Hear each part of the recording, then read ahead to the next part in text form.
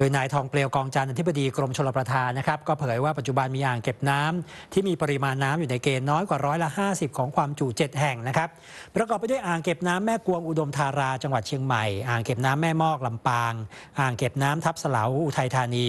อ่างเก็บน้ำกระเสียวสุพรรณบุรี อ่างเก็บน้ำอุบลรัฐจังหวัดขอนแก่น อ่างเก็บน้ำห้วยหลวงอุดรธานี แล้วก็อ่างเก็บน้ำลำนางรอง จังหวัดบุรีรัมย์ซึ่งกรมชลประทานได้วางแผนบริหารจัดการน้ำเพื่อสนับสนุนการใช้น้ำอุปโภคบริโภค และรักษาระบบนิเวศให้เพียงพอตลอดฤดูแล้ง ส่วนการเพาะปลูกพืชฤดูแล้ง สามารถสนับสนุนได้เฉพาะพืชใช้น้ำน้อยเท่านั้นนะครับยกเว้นอ่างเก็บน้ำแม่มอก และอ่างเก็บน้ำอุบลรัฐ ที่ไม่สามารถสนับสนุนน้ำเพื่อการเกษตรได้ เนื่องจากมีปริมาณน้ำอยู่ในเกณฑ์น้อยมาก สนับสนุนได้เฉพาะน้ำอุปโภคบริโภค และรักษาระบบนิเวศเท่านั้น ขณะที่ลุ่มน้ำเจ้าพระยาที่ใช้น้ำต้นทุนจากเขื่อนหลัก 4 เขื่อน มีปริมาณน้ำรวมกันกว่า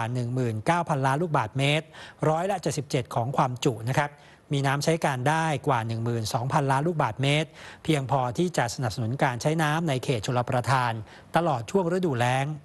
ส่วนภาคตะวันออกที่มีความต้องการใช้น้ำในช่วงฤดูแล้งจำนวนมาก เนื่องจากเป็นพื้นที่เศรษฐกิจสำคัญของประเทศ ทั้งแหล่งท่องเที่ยว สวนผลไม้ส่งออก และเขตอุตสาหกรรมหนัก มีปริมาณน้ำในอ่างเก็บน้ำเฉลี่ยร้อยละ70ถึง90 ของความจุอ่าง เพียงพอที่จะสนับสนุนความต้องการน้ำ ขณะที่ภาคใต้ครับกำลังจะเข้าสู่ฤดูฝน ได้กำหนดจุดเฝ้าระวังเสี่ยงภัยน้ำท่วม ตั้งแต่จังหวัดเพชรบุรีลงไป 75 จุด พร้อมติดตั้งเครื่องสูบน้ำเครื่องจักรเครื่องมือต่าง ๆ ที่จำเป็นเอาไว้แล้วในพื้นที่